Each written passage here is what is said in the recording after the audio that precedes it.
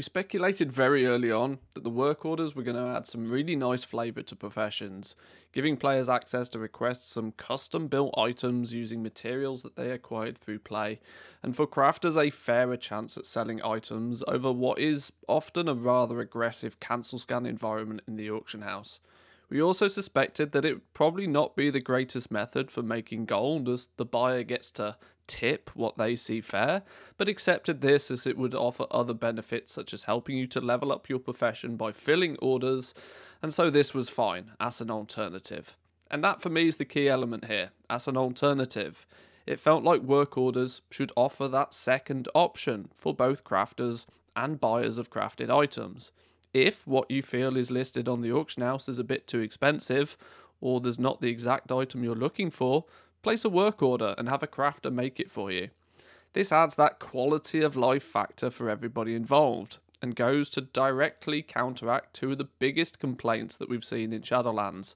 We've all heard the legendaries are too expensive complaint, and equally, the I post items on the auction house and they never sell.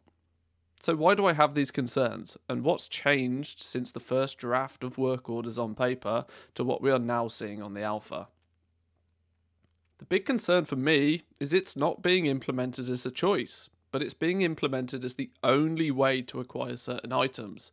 Through some basic testing of a handful of the different professions, we can already see that nearly anything of significant value is bind on pickup now, removing the ability for a crafter to make it and list it on the regular auction house.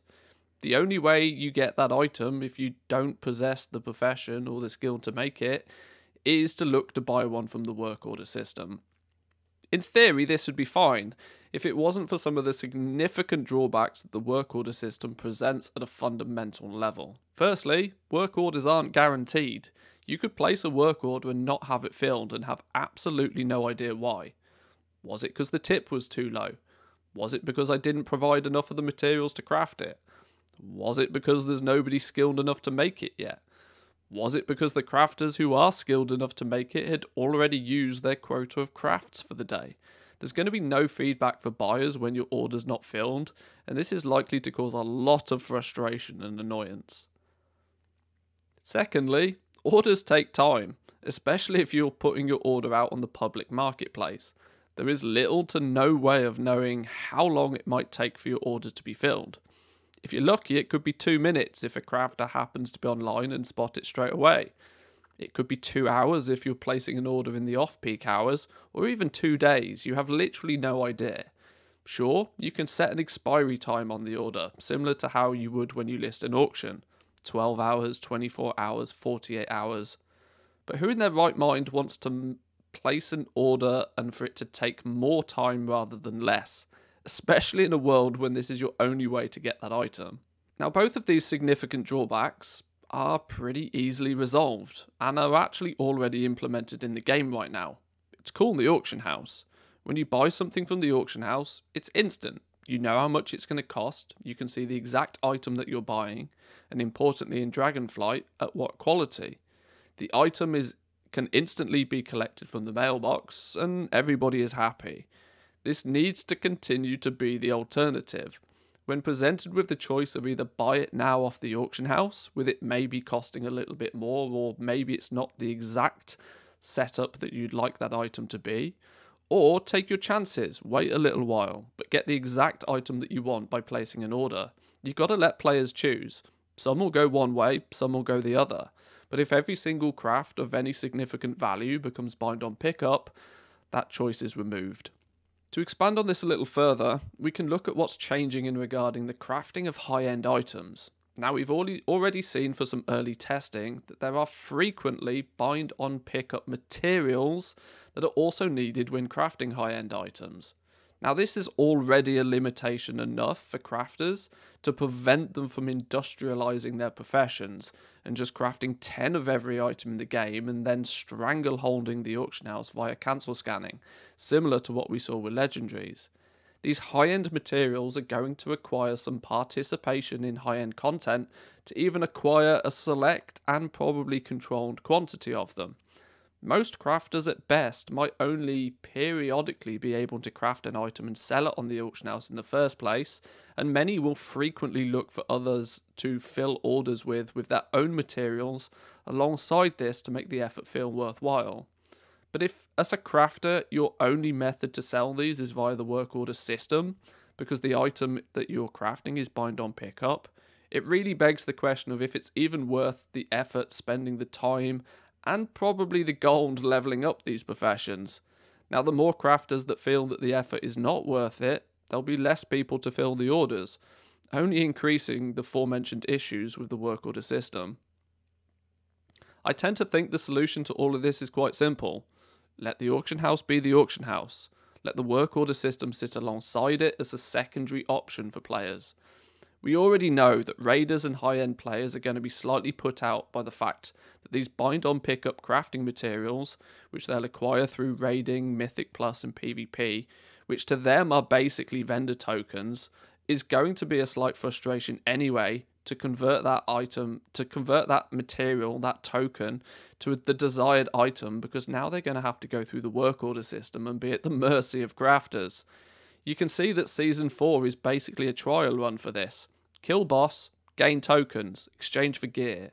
This is going to be no different in Dragonflight other than that vendor is going to be switched out for the work order system. I worry we'll very quickly hear the cries of bring me back my vendors or why can I not just buy this from the auction house? To elaborate further, I do kind of worry that in recent history, any time we've seen Blizzard force players to engage in a system or a feature of the game that they'd rather not, it very quickly creates a negative view towards that system. Take Torghast, for example. On paper, it was a great little fun mini game within World of Warcraft. But by the way, if you want to stay on curve with your player progression, you're going to have to play this at least twice a week per character. They did the same with island expeditions. The most effective way to gain player power levels for your artifact neck was to run island expeditions 12 hours a day, ultimately killing the enjoyment of the feature. Now, this probably wouldn't be the best example if it wasn't for the simple fact that crafting is improving in Dragonflight crafting is going to be able to make up to mythic raid quality gear. So there's absolutely no way that most players will not want to get their hands on some of this. So to summarize, the work order system is not a bad system, and this is by no means a suggestion for it to be heavily changed or even scrapped.